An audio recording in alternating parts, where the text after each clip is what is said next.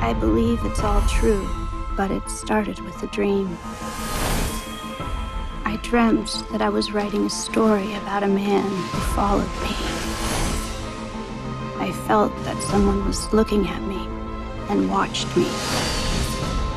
And then the dream ended, I think.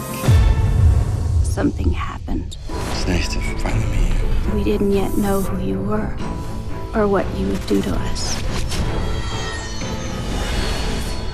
What are you scared of? I didn't say I was scared of anything. I can't figure him out. You think I'm a nice guy? No. Yes. I'm taunting them. Were you in an accident yesterday? Oh, I, I saw you yesterday. Are you all right? Something was happening to me. Do you think people are out to get you? Anything's possible.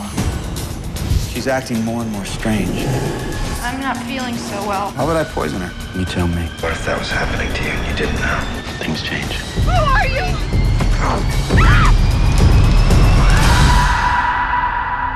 What did you do to me?